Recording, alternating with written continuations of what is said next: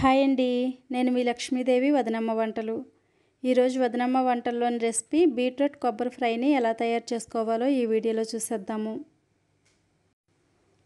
ముందుగా బీట్రూట్ని పొట్టు తీసి శుభ్రంగా కడిగి తురుముకోవాలి.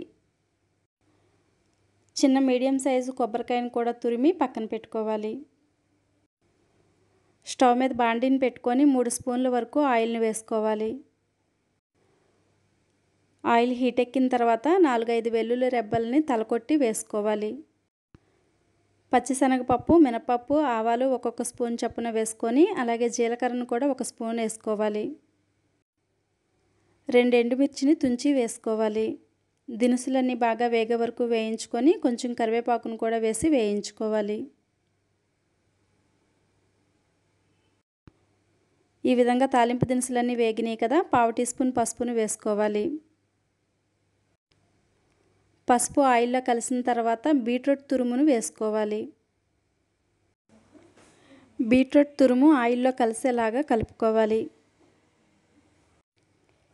ఈ విధంగా కలిపిన తర్వాత తగినంత సాల్ట్ని యాడ్ చేసుకోవాలి. మీ రుచికి తగిన సాల్ట్ని యాడ్ చేసుకొని అన్ని మిశ్రమాలు బాగా కలిసేలాగా కలుపుకోవాలి.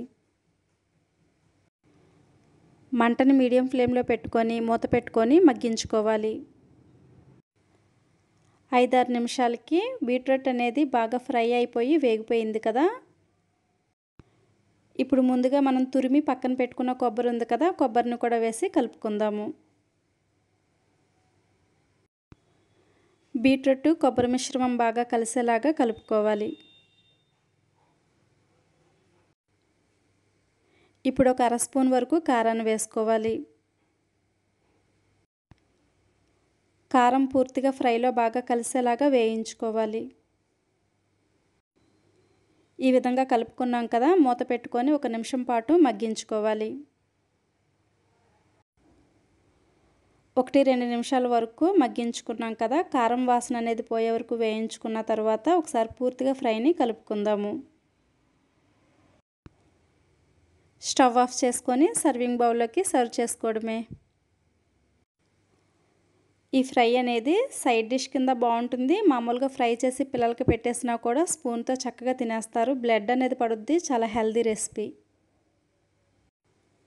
మరిన్ని రెసిపీస్ కోసం వదినమ్మ వంటలను సబ్స్క్రైబ్ చేసుకొని సపోర్ట్ చేయగలరు.